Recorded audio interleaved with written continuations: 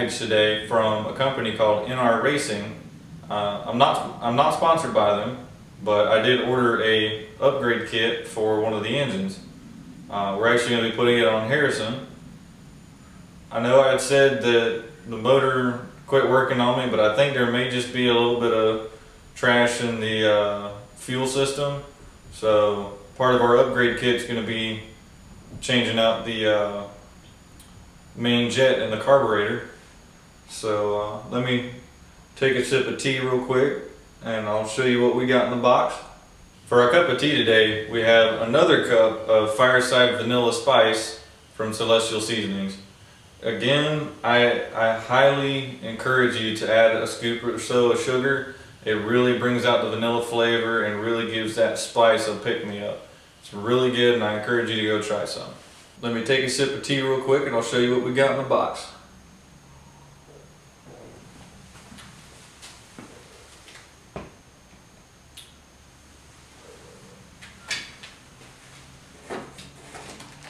We have a high performance air filter. It's going to replace our stock one. We have a new exhaust header. We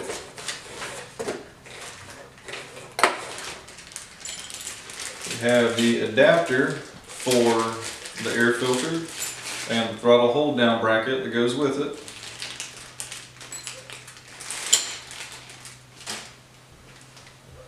Got a new set of 22 pound valve springs that we're going to be installing.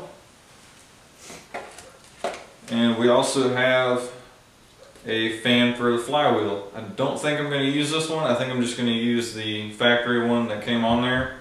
Um, this one looks a little bit on the small side, but we'll see what happens. I may use it, I might not. We'll see.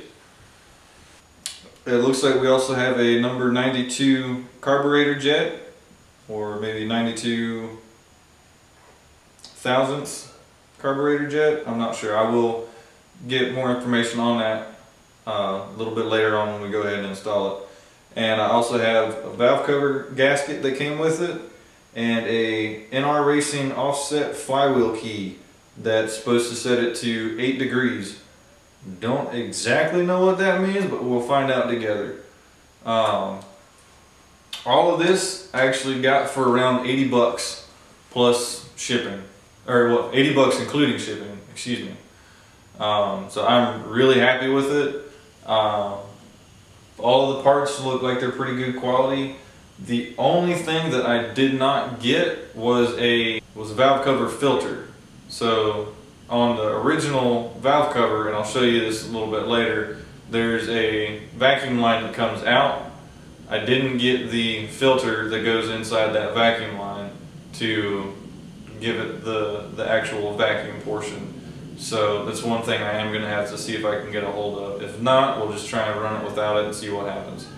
Um, we're going to go ahead and get started by replacing the exhaust and the air filter and then on the next episode we're to do the valve springs. And to do the valve springs we got to take we have to take off the cover and once everything's been removed and put back together we actually have to set the valve lash and I will find out exactly what it needs to be set at and what parts and tools we need to do that.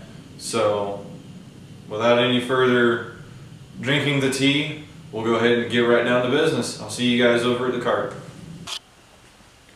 Okay, we're going to start by removing our muffler. We're going to be using a 13 millimeter wrench.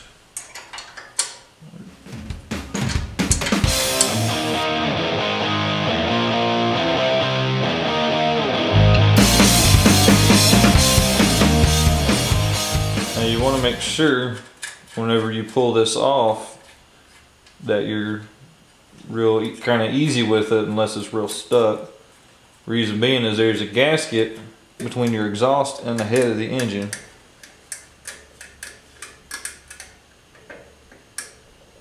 So you want to be real careful with it. Uh, let's see here. Here's that gasket I was talking about. I I've got a spare one, so I think I'm going to replace it. You can see how it kind of started to separate right there. So let's go get us a new gasket. I'm gonna step on this side of the engine now so my elbow and my hat ain't in the way. I got my gasket here.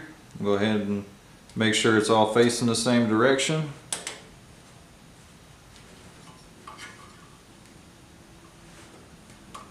This one is a little bit of a tight fit, but as long as everything lines up, that's how we want it.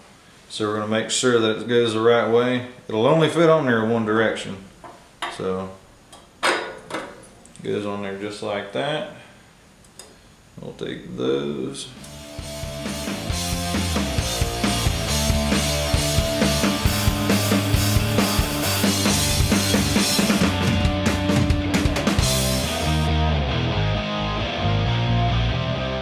Like I saw, like I did right there, if you find out that you need a little bit more clearance, so you see how it's hitting, how the end of the wrench is hitting the side of the cart, you just pull it off and flip it over. You can see it gives you a whole lot more room to work with. That should be good. I don't think it's going anywhere. Now we'll go ahead and get started with the air filter. Okay, for the air filter, we're going to use our 10 millimeter 10 millimeter socket. Just pull that off right there. Just like we did in the last video. Excuse me, just like we've done in the previous video. It wasn't the last one. You want to make sure that your fuel is in the off position. Doing so will allow the filter housing to come completely off. Set these up here.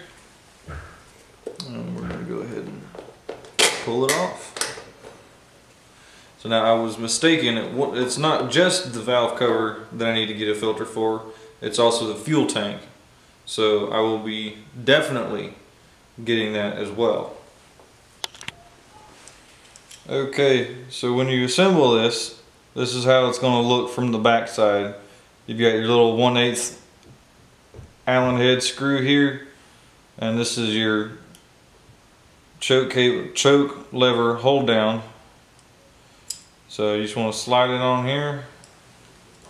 And this particular adapter is actually plastic so you want to be careful when you put the screw in there that you don't strip the hole out or do anything like that because that would not be good which is what I almost did that's why it took me a little while to get back so now I'm going to take my Allen key and I'm just going to tighten it down right where it's supposed to be.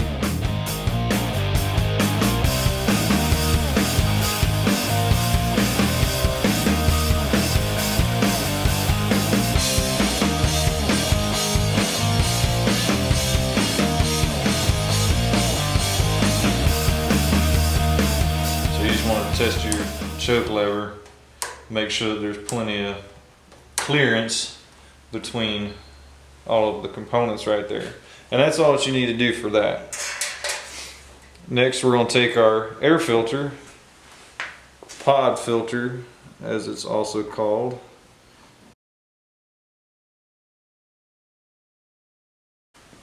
Matter of fact, I'll tell you what we're going to do. We're going to pull this back off real quick. because we didn't put the nuts back in here. So that's going to be the next step.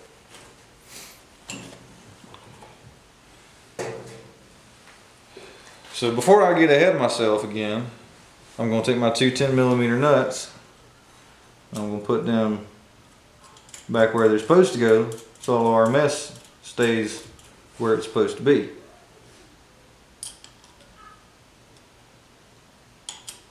See, you and me, between you and me, this is a learning process. I've never done this before. So, I get a little bit ahead of myself. And I forget things.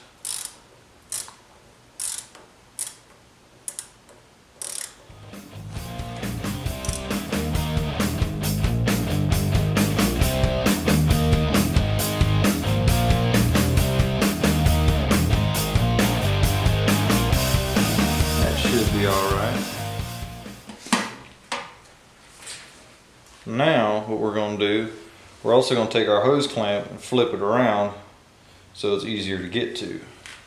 Since we're putting it on a downward, putting the air filter on a downward angle. Now, we're gonna put the air filter on. There we go. We want to be able to also to make sure that we can still reach our on off switch for our fuel flow. So that should be about good right there. Spin our clamp around. Now you want to make sure your clamp's even all the way around the top if you can.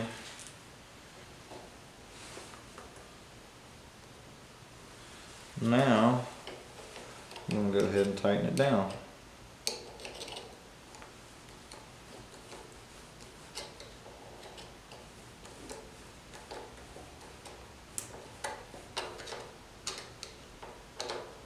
Again, I'm not going to go overly tight, but I am going to make sure that the hose, the uh, I am going to make sure that the air filter ain't going to come off.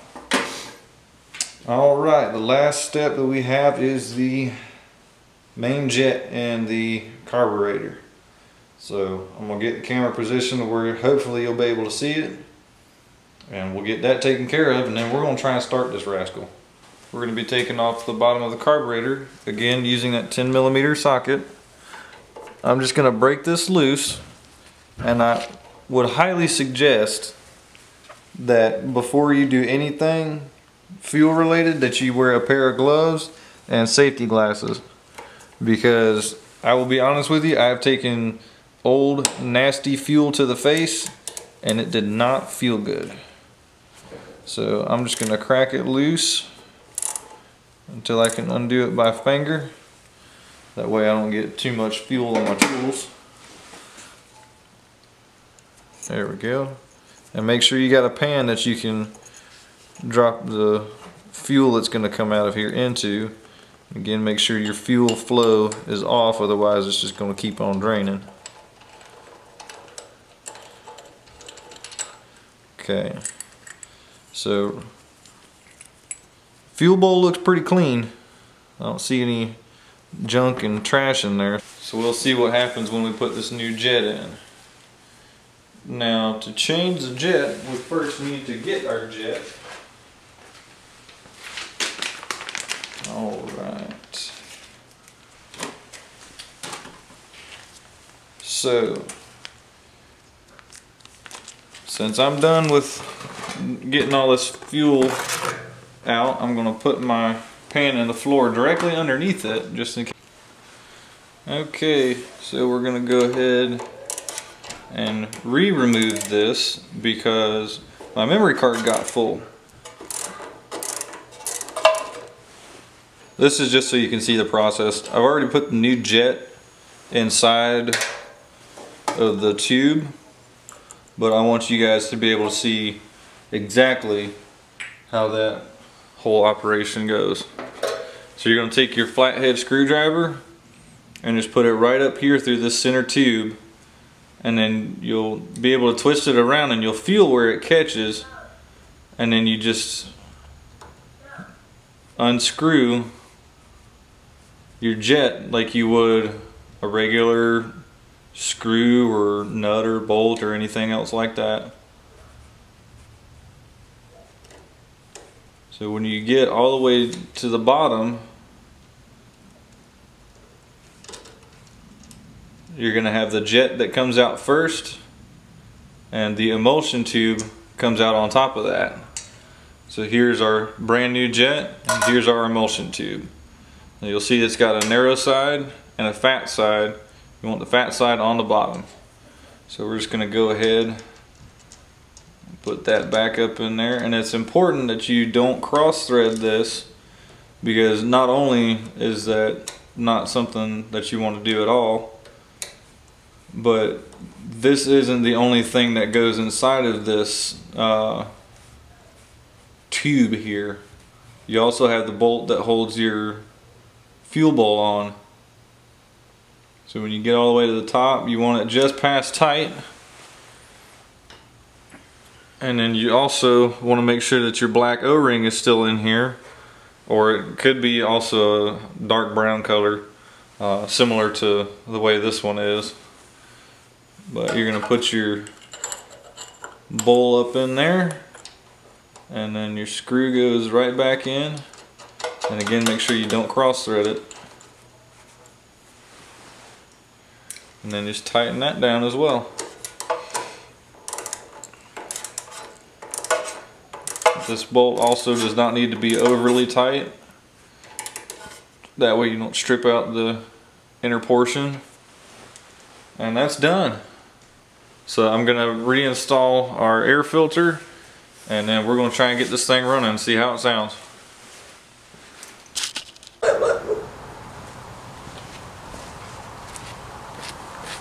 Alright, so here we have a stock Predator without the modifications that we've done. And then we have the modifications that we did on Harrison. We upgraded the air filter, the exhaust, and the fuel jet. So we'll do a side-by-side -side comparison and show you just how much louder it actually gets with that header on there.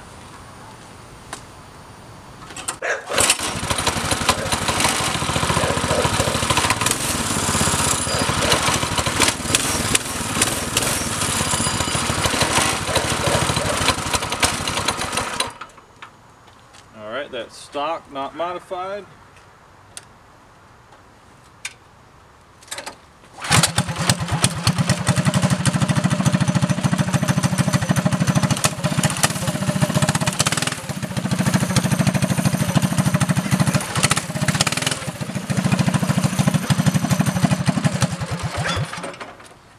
So this one's definitely opened up a lot more, sounds a lot better. And uh, I'm actually gonna take it for a little quick trip down the block, just to make sure everything's running good with the throttle. And then on next week's episode, we're gonna be doing the valve springs. So I hope you guys come and join me again. Make sure that you like, share, and subscribe, and click the bell for notifications so you can see the next step in the process. Appreciate it. Y'all have a good one. We'll see you later.